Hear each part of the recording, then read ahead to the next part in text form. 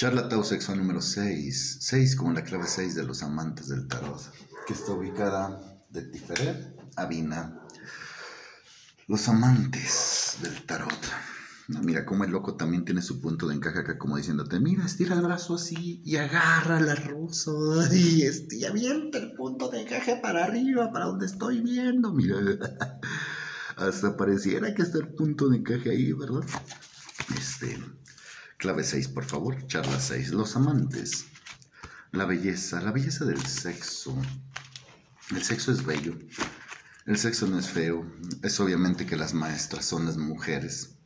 Porque pues quien te dentro del primer bizcocho una mujer. A menos que hayas preferido un jotito. Yo en mi caso preferí chicas. Entonces, eh, siempre, eh, como estamos muy codificados en el muy impresionados en nuestros neurocircuitos del lado izquierdo, no nos enseñan a coger.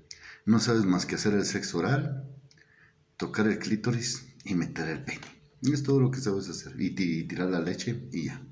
Y la siguiente vez meter el pene, tirar la leche. La otra vez meter el pene, tirar la leche. Ya ni siquiera tocas. Usa a los soldados, nunca vientes al general primero. El general no puede ser derrotado. el Pancho es el general, güey, el de abajo. Entonces, los dedos tienen energía.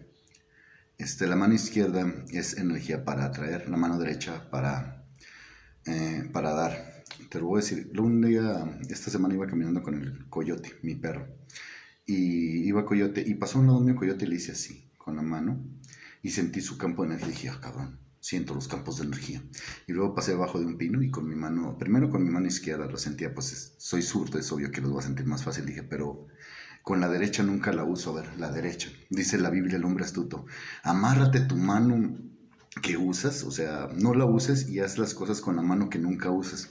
Y así estaba yo percibiendo. Percibía la energía del pino, del sauce, de, cactus y así. Empecé a ver toda la cuadra, toda la cuadra y iba percibiendo, iba percibiendo la energía y se sienten, se sienten las diferencias energéticas de cada planta. De un árbol a otro árbol hay mucha diferencia, mucha diferencia. De un cactus a un árbol hay diferencias energéticas que te puedo traducir en palabras, pero ¿para qué? Es mejor que tú lo sientas y a lo mejor no tienes las palabras en tu neurocircuito 3 porque no has desarrollado la neurolingüística que pertenece exclusivamente al área de programación neurolingüística es circuito 3.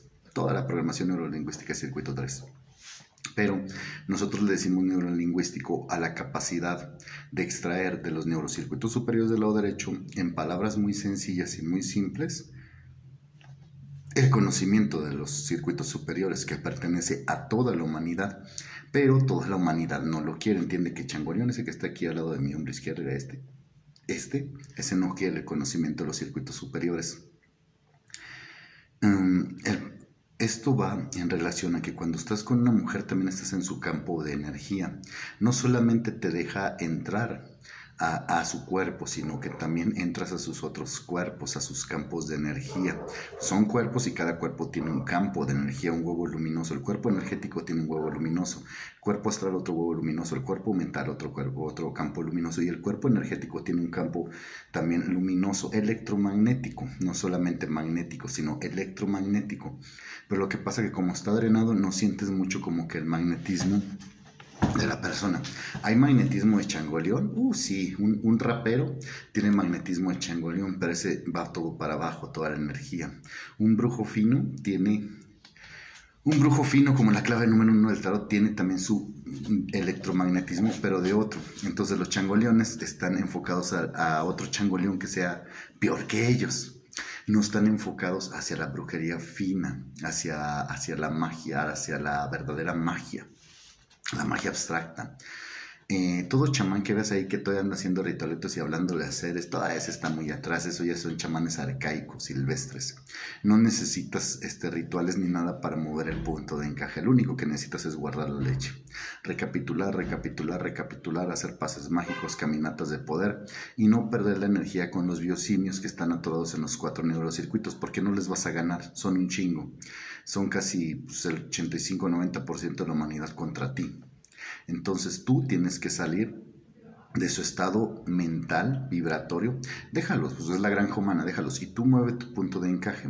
Obviamente que cuando mueves tu punto de encaje ves que hay un basural humano, es lo que le explica don Juan a Carlos en el fuego interno, que, que mueven el punto de encaje hacia un lado y hacia otro al basural humano, y en ese basural humano hay mucho basural sexual, mucho. Entonces tú evita la basura mental en el sexo. Esto es muy, esto es muy necesario. ¿Qué fantasía es que la chingada? Nada, la chingada. Yo aquí soy yo el que te va a coger, ¿verdad? Y punto. Te vas a recordar mi nombre, hasta me vas a decir Dios, pero no importa, soy Pancho, eh, o Luis, o Tello, o Chuyo, no sé quién, ¿verdad? Es por eso que el loco trae la vara tan larga. Esta vara significa la energía sexual y a través de toda su energía sexual, el loco puede alcanzar fácilmente a rememorar toda su experiencia en este ciclo cósmico, en este Mahavantara y otros Mahavantaras. Mm, siempre provoca dos o tres orgasmos en la mujer antes de penetrarla. Te lo voy a dejar de tarea. Usa los generales. Ya sabes que tiene energía suave. No, no, ay, no agarres duro. Ahora tú sé suave. Deja que ella se vuelva la, la parte activa y tú vuélvete la parte pasiva. Suave, delicado, tocando. Checa la espalda con tus manitas así. Hasta déjate un poquito las uñas, un poquito así como que suave, por, ve conectándole todos los canales acá suavecito, tócala con mucho amor, suavecito, dale el clítoris vuelta 36 veces a un lado, 36 al otro, y con tu lengua hazle el alfabeto hasta en hebreo si quieres, el alfabeto griego, el alfabeto latino, la A, la B, la C, la D. Hazla con la lengua en el clítoris, ese alfabeto, y ve en cuál letra está ya, porque hay unas que les haces la O y le combinas la X y ¡ay! Y ahí tú come su energía porque te está dando ella. Y tú también, pues pone el penecito y dile chupa poquito, no hay pedo, es algo muy natural. Tú comes, ella come. Ella te da. La mujer tiene mucho para dar, pero tú no tienes mucho para compartir. Ese es el pedo. Empieza con el alfabeto en el clítoris. Cambio y fuera.